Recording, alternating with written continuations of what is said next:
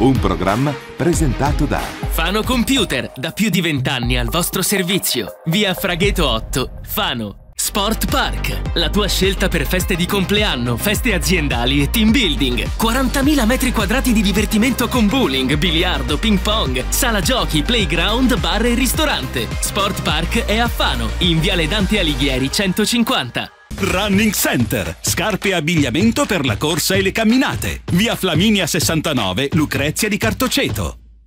Agenzia Generale Unipolsai Aniballi Associati. Sede di Fano in via delle Querce 11, zona ex zuccherificio. Sede di Pesaro in via Mameli 72, centro direzionale Benelli. Francesco Gomme e Servizi, sostituzione e riparazione degli pneumatici, le migliori tecnologie e soluzioni per ogni tipo di veicolo. Via Agnelli, Lucrezia di Cartoceto. Walter Pucci, carpenteria certificata, lavorazione lamiere e creazioni in ferro battuto. Via Toniolo 8, Bellocchi di Fano.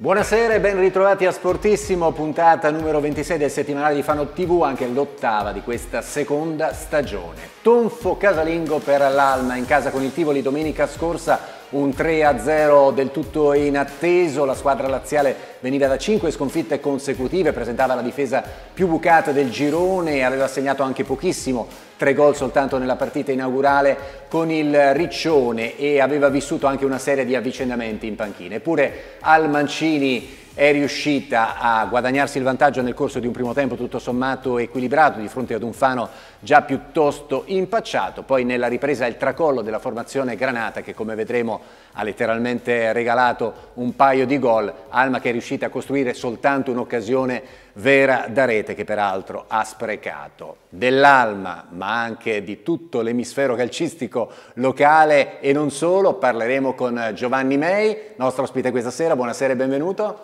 Ciao, buonasera a tutti. Giovanni May, giocatore dell'Alma un po' di tempo fa, poi anche allenatore dell'Alma e anche eh, presente in tante altre piazze nelle diverse dimensioni. Dicevamo di quest'Alma costruita quest'anno con l'obiettivo di guadagnare una salvezza tranquilla, una squadra che inizialmente è stata impostata per non prendere gol in maniera dichiarata e quindi alla fine una squadra da 0 a 0 che se per caso capitava di segnarlo il gol, poi la partita la portava a casa, se mh, la disavventura voleva che lo subisse, poi alla fine la partita la perdeva. Qualche eh, passo comunque consistente in classifica è stato fatto, poi nelle ultime settimane, complice anche un calendario impegnativo, le cose stanno un po' precipitando. Cosa hai visto in questa squadra? Quali sono secondo te le considerazioni da fare?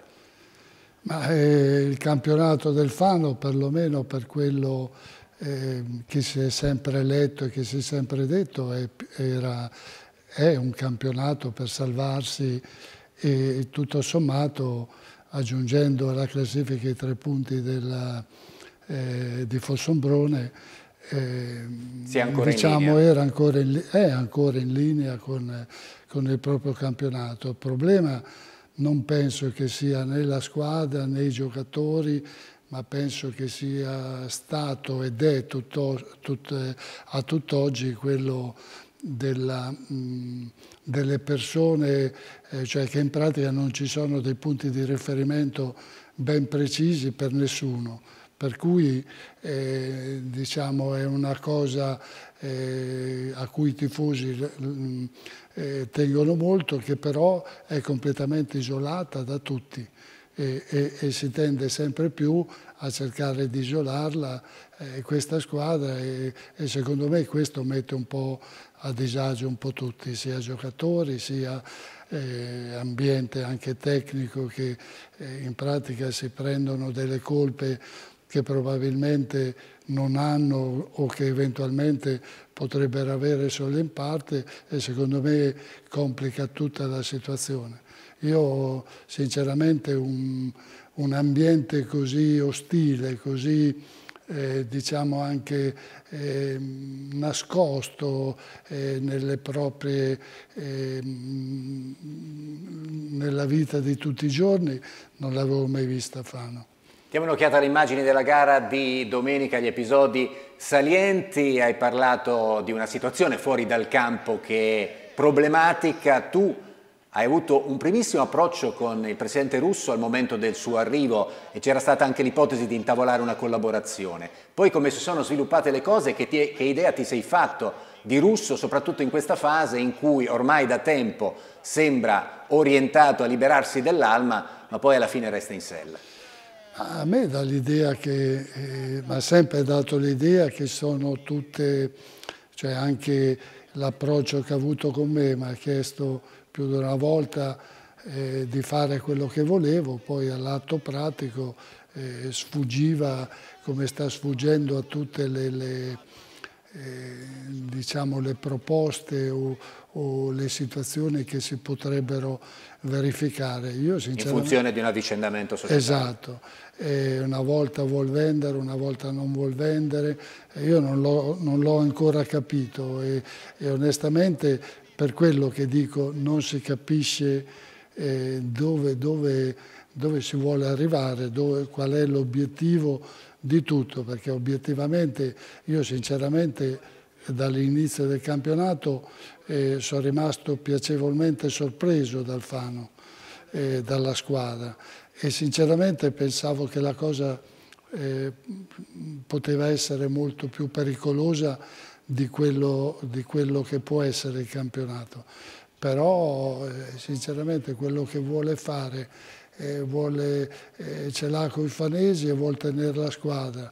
Eh, diciamo, mm, mm, È difficile decodificare eh, quelle che siano che le fare. sue reali intenzioni. Esatto. Quanto alla squadra, per come l'hai vista, credi che comunque abbia i mezzi per togliersi d'impaccio da questa situazione oppure per, le, per la piega che hanno preso le cose con eh, il divorzio da Scorsini, mettiamola in questa chiave, e la, la, squadra affidata ad Alberto Rondina, c'è da essere preoccupati, non tanto per Rondina, certo. ma per il contesto generale. Sì, allora, eh, quello che dicevo prima, cioè sia Scorsini, sia soprattutto Rondina, eh, eh cioè eh, ereditare una situazione del genere eh, cioè non è una cosa semplice perché non è questione di essere bravi, esperti, qui si tratta di gestire non solo la squadra ma di gestire tutto un ambiente e sicuramente non è eh, un, eh, un, giovane anche se bravo, promettente come eh, Alberto che sinceramente, cioè si mette ancora di più in difficoltà lui e si responsabilizza e, e, e lui che nonostante tutto in questa faccenda eh, non ha eh, responsabilità. Però secondo me a me non piace eh, come viene gestito tutto. Qui non ci sono punti di riferimento reali per, per nessuno e questo qui eh, secondo me è uno dei lati positivi, cioè qualsiasi squadra, anche la più scarsa, quando c'ha dietro una società seria, c'ha dietro dei punti di riferimento, alla lunga viene fuori. In questo io sinceramente ho paura un po' per il Fano adesso, perché proprio c'è questa situazione, cioè eh, sono giovani, Adesso eh, tra un po' si darà la colpa a quel giocatore, a quell'altro che ha sbagliato di qua, che ha sbagliato di là. Per cui entrare in campo spavaldi eh, con entusiasmo, con eh, eh diciamo anche spre, spregiudicatezza e tutto è un conto, entrare dentro con la paura,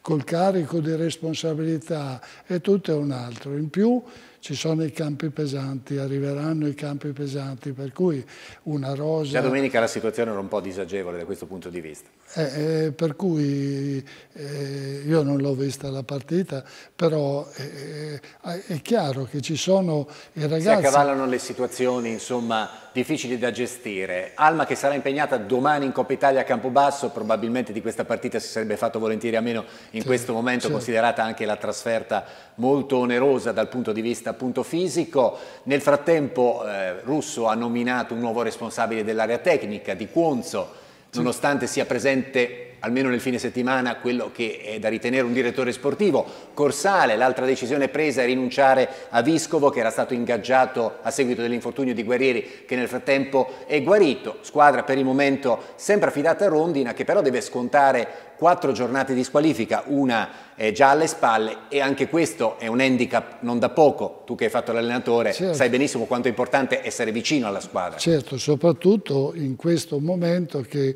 è in difficoltà sia la squadra sia probabilmente ha qualche problema anche Rondina perché eh, avere eh, tre giornate, altre tre giornate di squalifica e magari eh, non riuscire a farsi sentire direttamente secondo me è un handicap grosso. Però è, è, è una situazione eh, che secondo me è, è molto, cioè per dire la faccenda, volevo tornare indietro, la faccenda di Viscovo cioè è una cosa abbastanza logica, cioè che due portieri come Guerrieri e Vescovo non eh, fossero sciupati. Rappresenta il russo soprattutto per una squadra che non ha obiettivi così eh, esatto, quindi, eh, ambiziosi. Quindi uno bastava, per cui eh, ha fatto bene quello che ha fatto a prendere Vescovo al posto di Guerrieri se dietro non aveva le garanzie dal dodicesimo o, o, o altro per, per, giocare titolare, però secondo me è, è, è tutto il resto che non quadra. Non quadra. Un'occhiata alla classifica e ai risultati prima ancora, con la Samere Dettese che liquida anche l'Aquila e sembra imbastire un tentativo di fuga. Altro risultato significativo, quello dell'Avezzano su Roma City, che è la squadra segnalata in forma e che consente ai marsicani di farsi notare alle spalle della squadra rosso-blu. Il Chieti si deve accontentare di uno 0-0 a Termoli che come vediamo dalla classifica consente alla squadra nero-verde di restare appunto a ridosso del vertice hai anche tu l'impressione che la San Benedettese abbia tutte le carte in regola, quest'anno anche societarie, per eh, fare certo, la differenza? Certo, io tra l'altro sono stato a San Benedetto e so come funziona in pratica, cioè lì quando vai bene eh, vai in discesa, quando vai male è difficile cambiare la rotta, però è partita bene, c'è un discreto margine per cui quando lì anche il pubblico spinge e, e, e si rema tutti dalla stessa parte è difficile che perda questo campionato sinceramente, secondo me. E tra l'altro la nuova società sembra offrire quelle garanzie certo. che in passato spesso a San Benedetto le proprietà non hanno offerto. Esatto, infatti questo avvalora ancora di più quello che dicevo prima, cioè che se c'è la società si lavora tutti bene, ci si sente protetti, eh, non c'è bisogno, eh, non c'è nervosismo, non c'è ansia, eh, eccetera, per cui si lavora e quando eh, lavori, lavori bene sul campo e non hai problemi da gestire fuori, eh, è un'altra cosa. Insomma. Continua a fare bene anche il Fossobrone che ha battuto la Vigor Senigallia per 1-0, una matricola che osservavamo anche con altri ospiti, ha mantenuto l'intelaiatura, l'idea di gioco e questo paga sempre. Sì, questo paga sempre di sicuro, soprattutto all'inizio campionato, però eh, eh, cioè il Fossombrone, a parte diciamo, i tre punti del, del, eh, della, vittoria della vittoria a Tavolino, eh, comunque sta facendo, ha una continuità enorme, quello succede quando, visto che all'organico più o meno dello scorso anno, sicuramente tanti problemi che hanno avuto altre squadre che invece si dovevano assemblare probabilmente non le hanno avute, però sta dimostrando di, di, di, di meritare l'alta classifica al di là del, appunto, dei tre punti che che ha acquisito col Fano. Insomma. Continui a girare per i campi, continui a guardare partite, allora viriamo sul campionato di Serie C in particolare sulla Vispesaro ma sulle marchigiane più in generale. Vispesaro che ha ottenuto una vittoria molto importante a Lucca perché sì, era arrivata prima una serie utile ma non aveva risollevato più di tanto le sorti in classifica. Questa vittoria può segnare la svolta? Ma secondo me sì, molto, molto meritata poi, non è stata una vittoria casuale.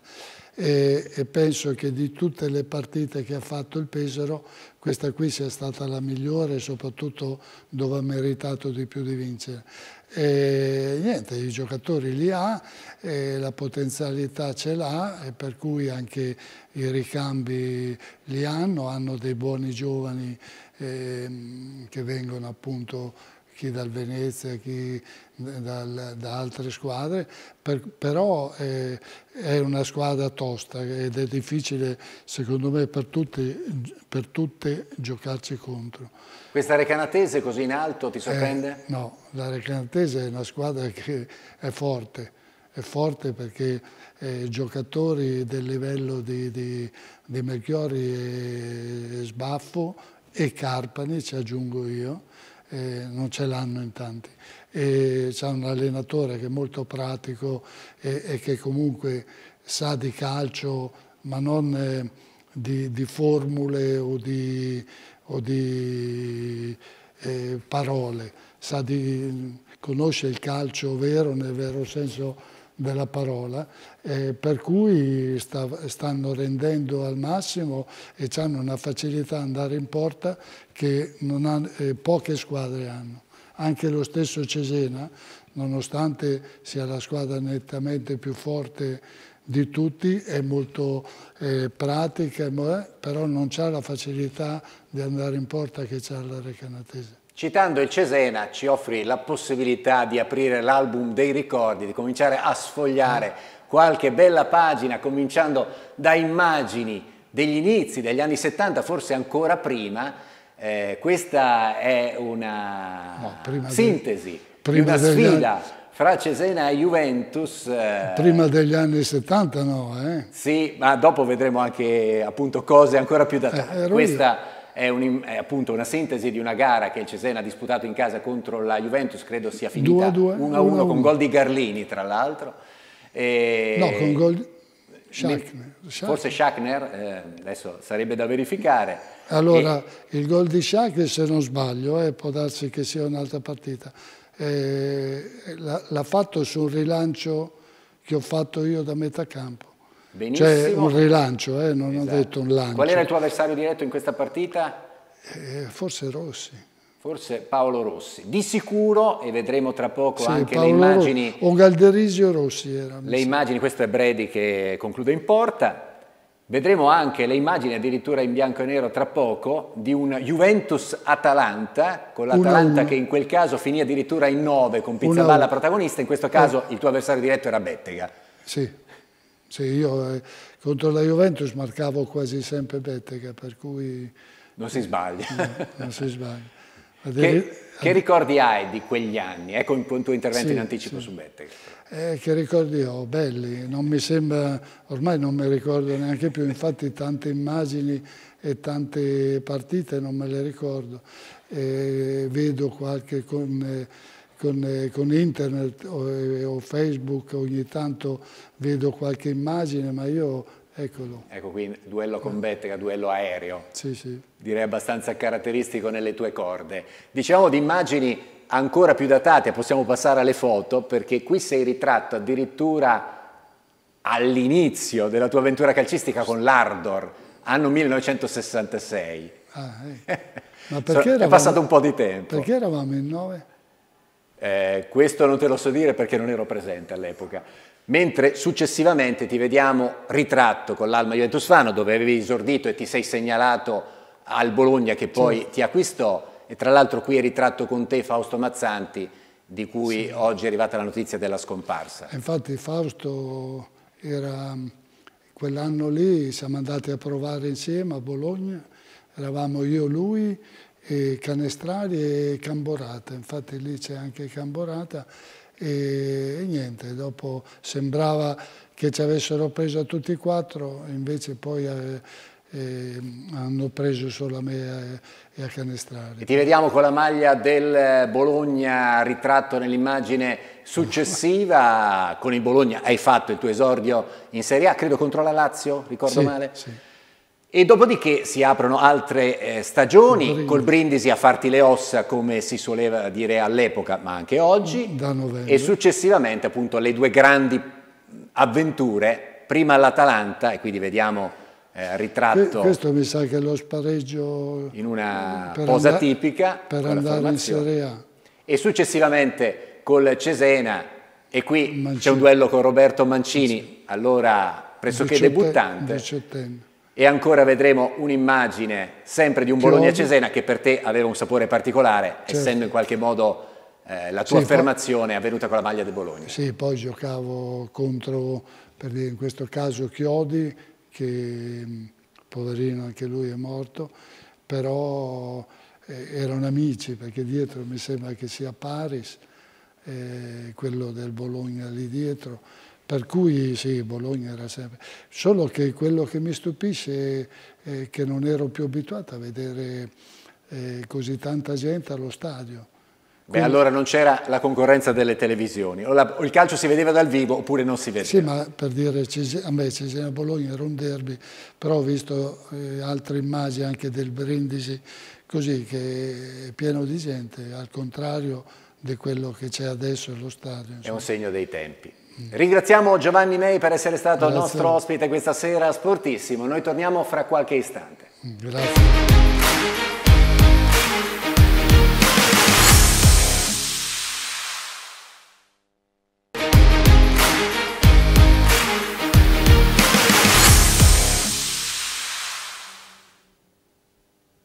E adesso la pallavolo è un'altra sconfitta pesante e oltretutto inaspettata, quella incassata dalla Smart System domenica scorsa a Palmi. Vediamo le immagini di una gara a senso unico con la formazione Regina che ha dettato legge dall'inizio alla fine, mai consentendo alla squadra di Tofoli di entrare concretamente in partita. Si sapeva che Palmi attardata in classifica, vantava comunque un potenziale significativo, non solo l'ex Stabrava, protagonista anche domenica scorsa, ma anche altri giocatori di grande esperienza sinora eh, deludente il rendimento della squadra calabrese che però in occasione del match di domenica scorsa ha trovato eh, gli stimoli e anche la determinazione per esprimersi al meglio al cospetto di una smart system che ha sofferto moltissimo in ricezione e che non è riuscita a sviluppare il proprio gioco, cosa che peraltro in trasferta sta avvenendo con una certa frequenza, vero che sinora, almeno sino a domenica scorsa, la formazione virtussina era stata battuta soltanto a Sorrento, ma in una gara diversa in cui aveva sciupato vantaggi consistenti, altrettanto vero che il rendimento casalingo e la disinvoltura che la Smart System esibisce in casa non trova sinora riscontro lontano dal Palace Allende. Vedremo cosa accadrà domenica, scorsa, domenica prossima, scusate, quando la formazione fanese sarà di nuovo sul terreno amico contro un Modica, formazione che nell'ultimo turno, e vediamo i risultati, ha avuto la meglio al tie break in rimonta su Casarano, l'unica partita dall'andamento veramente incerto. Per il resto da segnalare il nuovo exploit di Macerata che è passata anche sul campo del Sabaudia così consolidando il proprio primato in classifica. Anche il Lago Negro dopo il passo falso di Fano si è riscattato a spese del Napoli. Il Sorrento che continua a farsi notare per il suo rendimento altalenante è stato sconfitto a Bari. Quanto alla classifica dicevamo di Macerata che prova a prendere il largo 4 punti di vantaggio ora sulla Smart System e 5 sul Lago Negro alle spalle delle prime tre San Giustino che ha riposato domenica scorsa, in fondo alla classifica Marcianise con eh, davanti Sabaudia. Francamente non potevamo scegliere il momento migliore per tornare a parlare di tennis freschissima, l'immagine degli azzurri che a Malaga sollevano quella Coppa Davis che in Italia mancava da quasi 50 anni. E proprio dietro l'impulso di Sinner e i suoi compagni d'avventura in azzurro che il tennis sta avendo in Italia un grandissimo sviluppo negli ultimi vent'anni, l'incremento dei tesserati in particolare ha assunto proporzioni gigantesche. A Fano il tennis è portato avanti ormai da decenni e vedremo quanti dal Circolo Tennis Fano, di cui ospitiamo stasera il presidente Leonardo Principe, buonasera e benvenuto. Buonasera, grazie. E il direttore tecnico Federico Cinotti. Dicevamo di una storia lunghissima, Circolo Tennis Fano fondato addirittura nel 1901, un dato che ha il suo bel significato, Presidente. Ha un grande significato per il tennis e per la città di Fano. È vero, è stato fondato nel 1901, tra i primi circoli in Italia ad essersi costituito e oggi vanta un numero di uh, associati molto significativo. Parliamo di? Di circa 250 associati, più tutto ciò che riguarda il circuito della scuola tennis, quindi con tanti giovani, tanti ragazzi, tanti futuri, speriamo, tennisti che spero in qualche modo possano affermarsi, ma soprattutto che possano fare il loro percorso eh, nel tennis eh, ottenendo i migliori risultati secondo le aspettative di ognuno. Soci delle più diverse età, e questo è un riflesso del fatto che questo circolo si sia costituito tanto tempo fa e nei decenni ci sia stato sempre un manipolo, se non un gruppo ancora più ampio di appassionati di tennis e di praticanti di tennis. Senza dubbio, abbiamo ragazzi che si avvicinano al tennis all'età di 5 anni e eh, abbiamo associati giocatori che anche ultra novantenni praticano il gioco del tennis che è uno sport eh, bellissimo, uno sport individuale, ma in realtà eh, poi si svolge in un gioco di squadra. Il gioco di squadra comincia con la scuola tennis, dove i vari ragazzi eh, giocano, si confrontano con i loro compagni di viaggio in questo percorso di crescita e poi si sfidano nel corso dei tornei. Quindi è vero che è uno sport individuale, ma in realtà viene esercitato in un contesto assolutamente di squadra. E in questo devo dire che il circolo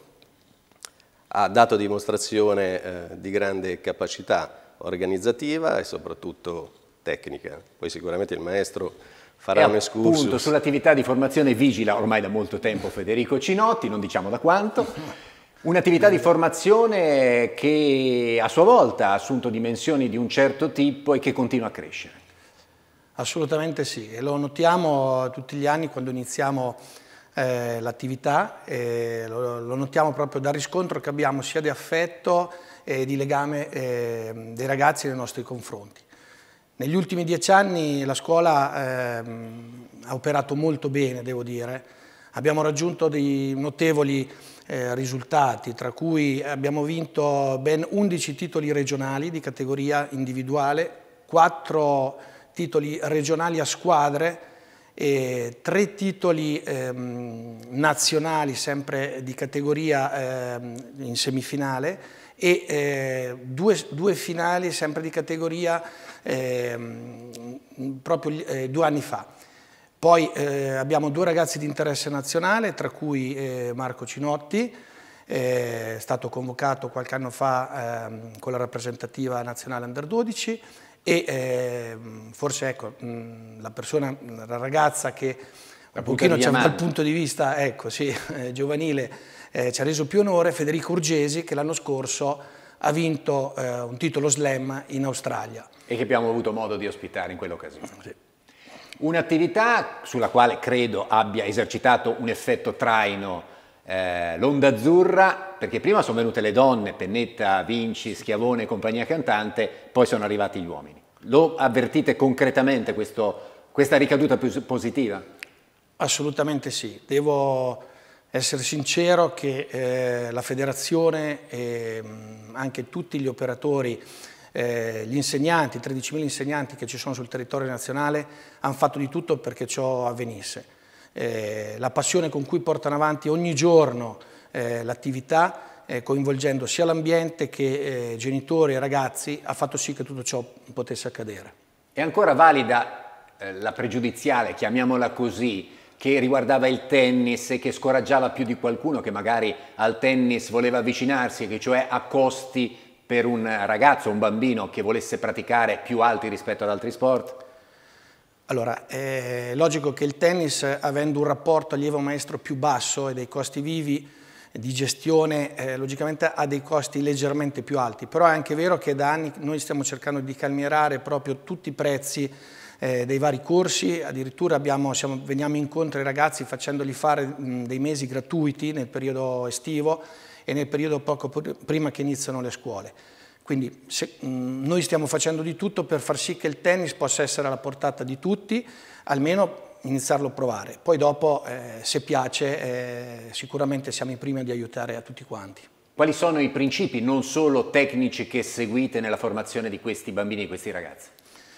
Ma allora, mh, la cosa fondamentale per noi è che mh, si trovano bene, eh, si devono ambientare, eh, devono, trovare, devono, trovare, un contesto diciamo, favorevole per, eh, per il loro sviluppo. La parte tecnica sì, sicuramente importante perché è uno sport tecnico, il tennis, però eh, non dico che viene in secondo piano, però la prima cosa che cerchiamo di fare con questi ragazzi è di farli star bene e, trovare un modo per potersi sentire realizzati. Un circolo con un suo vissuto, l'abbiamo in qualche modo declinato, ma anche con un presente confortato dal fatto di disporre di una struttura, direi, estremamente eh, competitiva, se vogliamo metterla su questo piano. Senza dubbio, una struttura complessa che richiede ovviamente un impegno importante da parte di tutti, da parte soprattutto eh, del direttivo, ma anche della squadra tecnica e soprattutto di una sinergia con l'amministrazione comunale, eh, che devo dire ci è stata sempre molto vicina, in particolare l'assessore allo sport Barbara Brunori, che ringrazio per, per il suo impegno e, e, pertanto sì, non è facile, però devo dire che nell'ultimo periodo eh, abbiamo testato un po' ecco la struttura perché abbiamo vissuto purtroppo il periodo del Covid, il caro energia e avendo superato ecco, tutte queste difficoltà ci ha in qualche modo fortificati.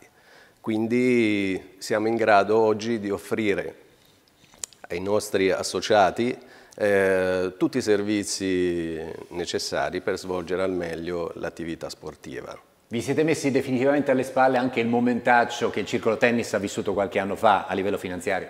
Sì, sì, posso dire che siamo usciti da una situazione non facile, in un momento difficile e oggi siamo, siamo orgogliosi. E come ha anticipato lei, ha segnalato eh, questo movimento tennistico e oltremodo in questo momento spinto dai risultati dei nostri atleti più blasonati e quindi dà un forte impulso e soprattutto eh, stimola i più giovani ragazzi ad essere sempre più determinati in un clima di assoluta lealtà e sportività che è quello che caratterizza anche lo sport del tennis, fondamentale per i più piccoli e anche per i più grandi. Da sempre i circoli tennis si connotano anche per un'attività proprio di carattere sociale, fanno in qualche modo da coagulo non solo rispetto ai soci ma anche eh, rispetto a persone che non fanno parte del circolo, prestando ai propri ambienti anche iniziative di carattere appunto sociale, ricreativo e ludico.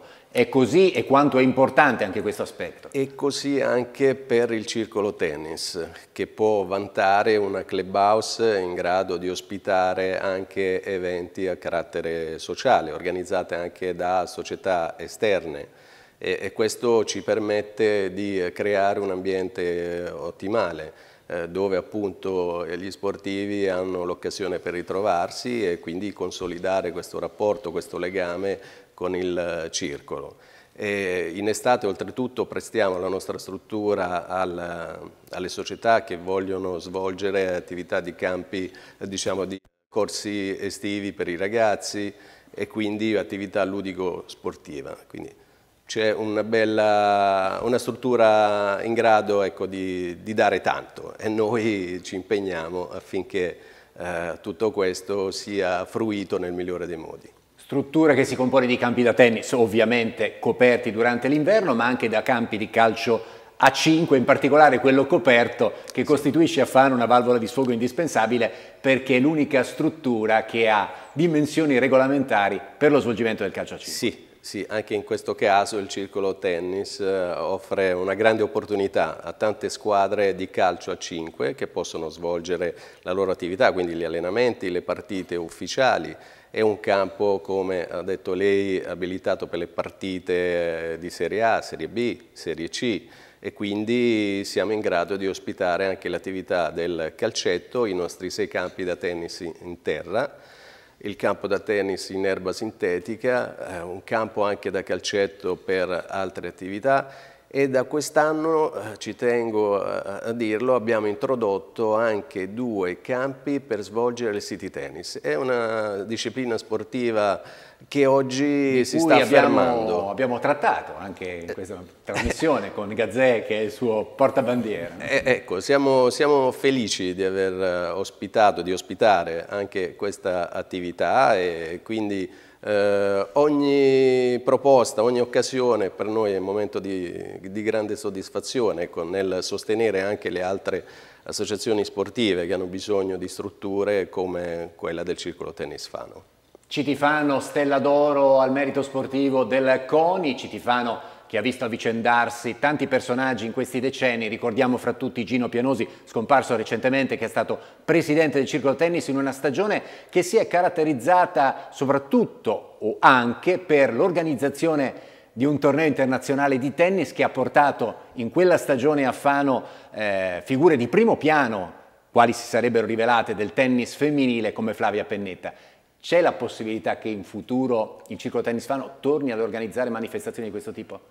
Oggi sì, oggi posso dire che il circolo è nella condizione. Dopo aver superato tutte le difficoltà che in qualche modo ha sintetizzato, eh, oggi possiamo pensare eh, a un, un prossimo evento sportivo che possa riportare Fano al centro del tennis nazionale ma anche internazionale. Oggi è il nostro obiettivo e riusciremo in questo, ne sono convinto e magari offrire una ribalta non soltanto alla Urgesi ma anche a qualche altra rappresentante del tennis giovanile nazionale. A questo riguardo il ciclotennis Fano, mi dicevate, offre ospitalità durante l'estate anche ad un paio di giovanissimi atleti originari in qualche modo con la famiglia di Fano e che si stanno facendo largo. Eh, assolutamente. Eh, sono la famiglia Darderi, eh, che ha, ehm, sono due fratelli fortissimi, ehm, Luciano che è i primi 150 al mondo, che per un soffio non è entrato eh, nel ranking delle next gen, e, e, Vito che è il fratello che ehm, ha 15 anni ed è campione europeo della sua categoria. Doppia e, nazionalità per entrambi? Sì, doppia nazionalità e sì, quando si trovano qua in zona eh, fanno proprio sede al nostro circolo in quanto il padre sin da ragazzo è sempre stato affezionato a noi, tra l'altro giocava anche eh, quando giocavo io, siamo molto amici e quindi eh, ha continuato a mantenere diciamo, questo affetto e questo legame con il circolo tennis fano perché comunque gli ha portato bene ecco, nel tempo. Mi affido all'occhio clinico di Cinotti, quando un ragazzino, un bambino viene a fare tennis, si riesce a cogliere subito qualche dote specifica che può pensare che possa arrivare da qualche parte oppure è ancora presto? Ma diciamo che i bambini così, tra virgolette, diciamo, dotati eh, con talento, che poi il talento non è soltanto quello tecnico, ma i talenti sono tanti, è logico che... Eh, Nel tennis anche il talento eh, mentale, Assolutamente, eh, sicuramente risaltano. Però questo non vuol dire che ogni, ogni bambino non abbia i suoi tempi diciamo, di maturazione. E quindi noi comunque, a prescindere da quello che vediamo all'inizio, eh, seguiamo tutti quanti i bambini logicamente con, con, lo stesso interesse perché sappiamo che ogni, comunque ogni ragazzino ha i suoi tempi e, e speriamo comunque che piano piano ecco, queste, questo processo possa, possa avvenire. Come si sviluppa l'attività di reclutamento? Avete anche qualche rapporto con le scuole? Dove andate a pescare i ragazzi e le ragazze? Sì, abbiamo negli anni sempre avuto dei buoni rapporti con, con le scuole, con, con i presidi.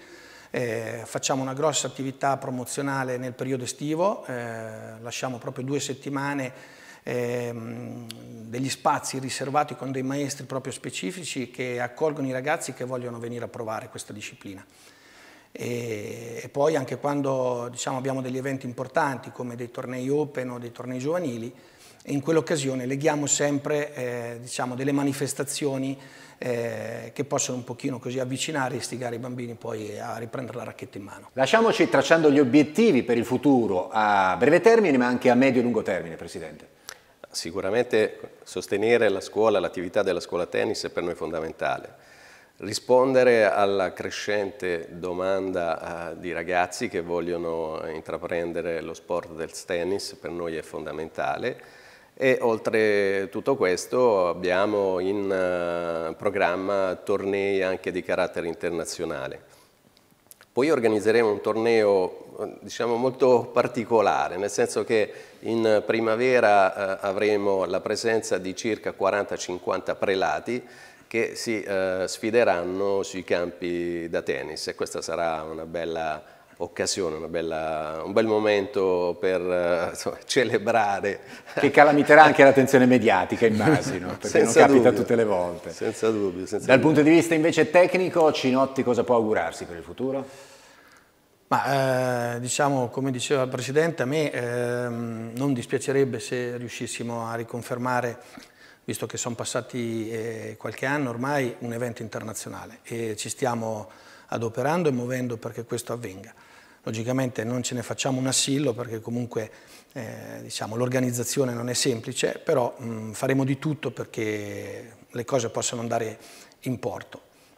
Grazie Federico Cinotti, direttore tecnico del Circolo Tennis Fano, grazie a Leonardo Principe, grazie. presidente del club fanese. Noi torniamo fra qualche istante.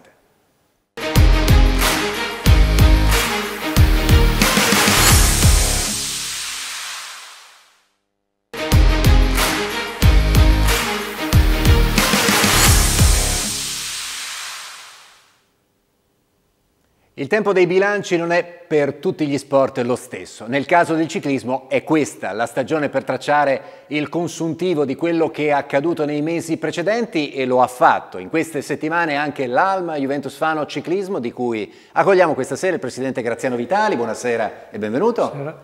E il vicepresidente Fabio Francolini. Buonasera, e benvenuto buonasera. anche a lui. Cominciamo appunto da qualche numero. Cosa è successo in questi mesi all'Alma Juventus Fano? Se soprattutto siete soddisfatti di quello che siete riusciti ad ottenere, Francolini. Sì, siamo soddisfatti perché comunque siamo riusciti a fare una stagione, nonostante che all'inizio c'erano dei numeri più risicati, durante la stagione i numeri sono aumentati, il dopo Covid ha lasciato dei segni, ma adesso siamo ritornati ad un livello di tesserati notevoli, la stagione è stata positiva anche per i risultati, per quello che può valere i risultati di una categoria giovanile chiaramente, però eh, campioni regionali su strada, nella categoria allievi, eh, quindi grande partecipazione, molte vittorie nella categoria allievi che diciamo quella un pochino dove i risultati sono un po' più importanti, mentre nella categoria giovanili lasciano il tempo che trovano, sono risultati importanti per il momento per i ragazzi, ma eh, meno, insomma, diamo meno importanza a queste cose, diamo più importanza al progetto educativo e sportivo della disciplina, più che ai risultati. È stata una stagione molto positiva anche nell'organizzazione delle gare, abbiamo organizzato tantissime gare, soprattutto la gara che facciamo sempre a Fano, nel circuito ciclistico Enzo Marconi, riservata ai giovanissimi e agli esordienti e abbiamo realizzato anche la seconda edizione della Rossini Raffaello, una gara in linea in particolare è nata l'anno scorso dall'idea di alcuni amici di Pesaro che ci hanno chiesto di supportarla e praticamente partenza da Piazza del Popolo e arrivo sotto i torricini del Palazzo Ducale di Urbino, un percorso bellissimo lungo tutta la vallata del Foglia, in linea, dove arrivano, vengono circa 160-170 ragazzi da tutta Italia e vengono i più forti, perché è la gara che precede i campionati italiani di categoria. Per cui è stata una stagione assolutamente positiva. Avete messo in mostra anche qualche ragazzo più di altri? Di chi sì, sicuramente abbiamo un ragazzo che è, è, è un talentuoso, cioè adesso quello che sarà in futuro non lo sapremo, ma al momento è un ragazzo tra, molto interessante a livello italiano. Infatti il prossimo anno farà il salto di categoria negli juniores con una squadra toscana. Parliamo di? Di Sgherri Giacomo, che comunque ha vinto diverse gare, purtroppo nel momento in cui ha avuto una convocazione per uno stage con la nazionale, ha rotto un braccio, però si è ripreso nel giro di pochissimo tempo, la prima gara, o anzi la seconda gara che ha fatto dopo l'infortunio, addirittura ha vinto. E, e, poi il compagno di squadra suo, che va anche lui in Toscana, che si chiama Nicoloso Luca, che anche lui andrà, come dicevo prima, in Toscana, e che ha vinto il campionato regionale. Quindi lui è il campione regionale per questa stagione di categoria, l'ha vinta nella, proprio nella gara organizzata da noi, nella Rossini Raffaello. Quindi... Quello che colpisce dell'Alma Juventus Fano, ma del fenomeno ciclismo in generale, è che per un certo numero di ragazzi occorrono forse altrettante persone che le seguono fra tecnici e, e volontari diciamo, con altre mansioni. È uno sforzo organizzativo credo molto impegnativo, Presidente. Beh, sì, questo, questo è vero, poi vorrei portare l'attenzione sul fatto che noi ci basiamo completamente sul volontariato e ci pregiamo del fatto che mh, tutti i nostri atleti mh, non pagano rette mensili o annuali e penso che probabilmente saremo l'unica società dilettantistica eh, che fa questo.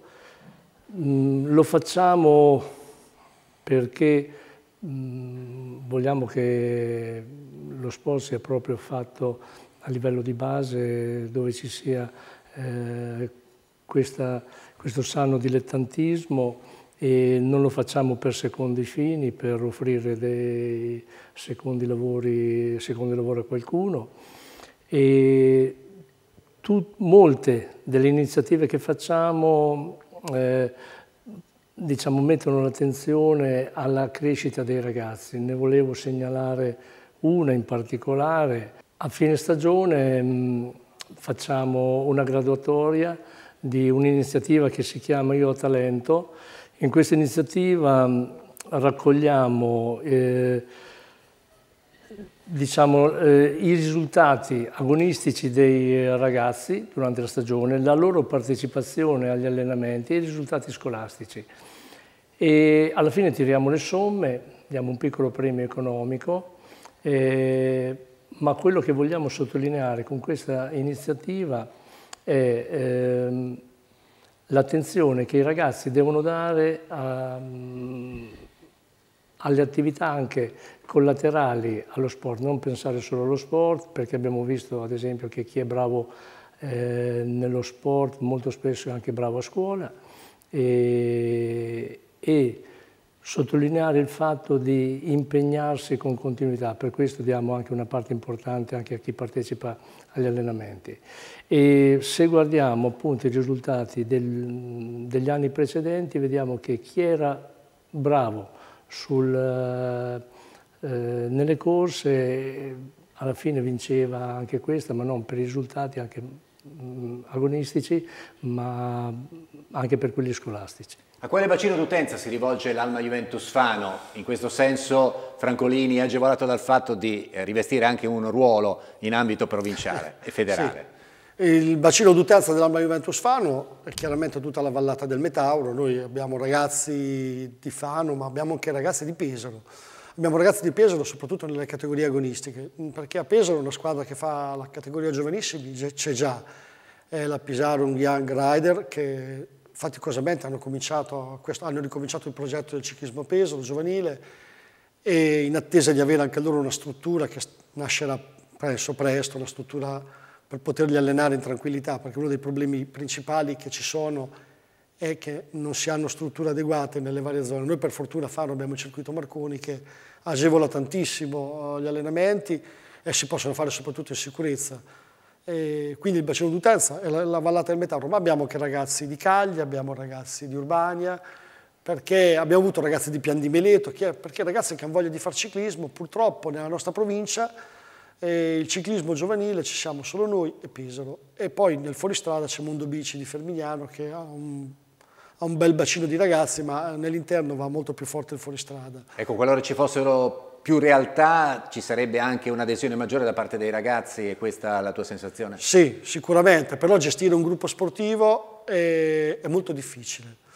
Ci vuole, un, ci vuole uno settore tecnico preparato, che abbia fatto tutti i corsi adeguatamente, perché lavorare con i ragazzi non è una cosa, non è che si può improvvisare questa cosa qui. Ci vuole una dirigenza che sappia supportare il settore tecnico e quindi ci vuole molta pazienza, molta pazienza, molto tempo libero, che a volte lo strappiamo dalle famiglie, fortunatamente abbiamo le mogli che ci lasciano fare, altrimenti sarebbe un problema. E, e quindi molte società all'interno non nascono proprio per queste paure, perché poi dopo non è un hobby, ma è un impegno. Quanto hai dei ragazzini, non puoi dire oggi non ho voglia, oggi parto con loro. Quindi questo frena molte realtà.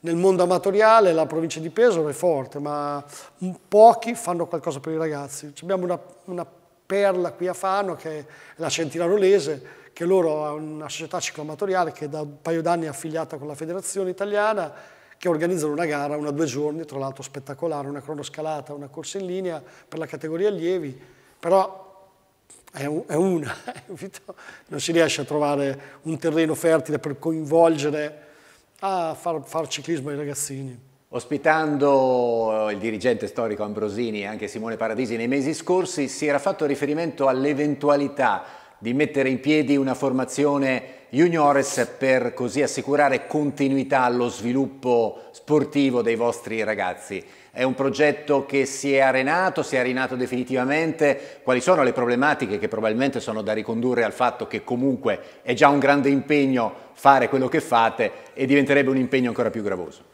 Beh, eh, fare una squadra juniores è, per noi è un sogno, coronerebbe un percorso dei, per i ragazzi perché se consideri che qualcuno è con noi dai 7 anni e ci lascia a 16 anni sarebbe il massimo portarlo anche ai 18 perché noi prendo spunto da quello che diceva Fabio prima eh, lo scopo principale che abbiamo è seguire i ragazzi in un periodo della loro vita che è difficile tutti abbiamo figli e sappiamo eh, che cosa significa avere figli a 12, 13, 14, 15, 16 anni. E, e averli soprattutto oggi. E, e averli oggi e, e, noi sappiamo, siamo consci di quello che è il nostro Fabio quando parla di, di, di impegno. Noi sappiamo che quelli che sono ragazzi oggi sono uomini, saranno gli uomini di domani, quindi eh, è un bel impegno che ci prendiamo e, ci stiamo, ci stiamo veramente attenti a questi.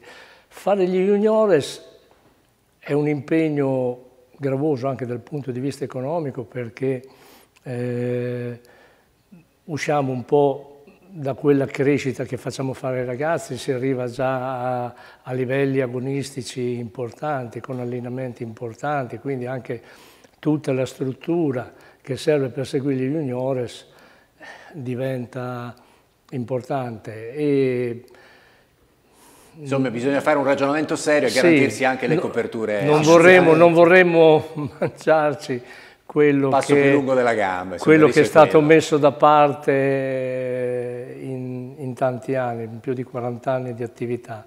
Quindi... Molte le attività che vogliono distinguersi anche sul piano dell'inclusività e fra queste l'Alma Juventus Fano perché recentemente è stato presentato questo progetto, tutti in bici, al quale l'Alma Juventus Fano offre una sponda tecnica importante. Di che cosa si tratta? Praticamente il nostro tesserato, Simone Paradisi, che si è interessato maggiormente di poter offrire il suo tempo a questo progetto, quella di poter eh, mandare in bicicletta dei ragazzi con disabilità. È un progetto molto interessante, anche lì richiede, è faticoso, però nel circuito ciclistico di Fano riusciamo a portare questi ragazzi ad andare in bici, come è giusto che sia, poi ci sono vari, hanno vari mezzi vari mezzi, si, si, creano dei percorsi, si creano delle piccole, delle mini gincane per poterli farli divertire, perché comunque il ciclismo è divertimento, per cui questa è una cosa che comunque... Bisogna sempre ten tenere in considerazione. Ci teniamo molto e se il comune ci propone qualcosa di queste cose qui, cioè, noi interagiamo molto con l'amministrazione comunale, abbiamo interagiamo molto anche in maniera molto positiva, sia da quanto si fa la città dei bambini, a tutte le varie eventi, anche quest'anno non siamo riusciti a fare Halloween a Sant'Orso perché non avevamo le persone per poterlo fare, però se c'è da fare qualcosa ci mettiamo a disposizione perché comunque per i ragazzi dà anche gusto fare queste cose. Abbiamo già trattato appunto della questione juniores, ma volendo fissare qualche obiettivo già per la prossima stagione e per le stagioni a venire, quali sono le priorità, Presidente? Ma guarda, è sempre, è sempre più difficile eh, far sì che i ragazzi arrivino ai 16-17 anni. quest'anno avevamo un buon numero di allievi, eh, abbiamo avuto qualche problema negli esordienti proprio perché negli anni passati, gli anni del Covid e tutto, ci sono state meno iscrizioni e quindi eh, la categoria esordienti che normalmente per noi è sempre stata anche importante, quest'anno diciamo, non avevamo un numero importante, un alto numero di ragazzi. E gli obiettivi sono quelli di stare sempre almeno, di avere un 50 tesserati, 50-60 tesserati. E, come dicevo prima, non è che lo facciamo per il numero delle rette che ci viene, perché non, non, non pagano rette, ma perché questo numero, partendo da un numero di 20 giovanissimi, ci consente di arrivare ai 16-17 anni con 7-8 ragazzi. L'obiettivo ecco, è quello di riuscire quantomeno a, a, a mantenere questi risultati. Ad certo, assicurare continuità a questo vostro sì. Sì, quantomeno questo. Chiaro che ci piacerebbe arrivare anche un po' più, a, un po più in alto, ma non so, adesso non riusciamo manco, manco a vederlo. Però questo insomma, dai. Non l'abbiamo abbandonato però. Non l'abbiamo abbandonato. progetto qui, teniamo nel però... cassetto. E allora fare, faremo il punto, ci ripromettiamo di fare il punto assolutamente, assolutamente. Grazie allora al vicepresidente dell'anno Juventusano Ciclismo Fabio Francolini e al suo presidente Graziano Vitali. Grazie come sempre anche a voi per averci seguito, vi aspettiamo la settimana prossima.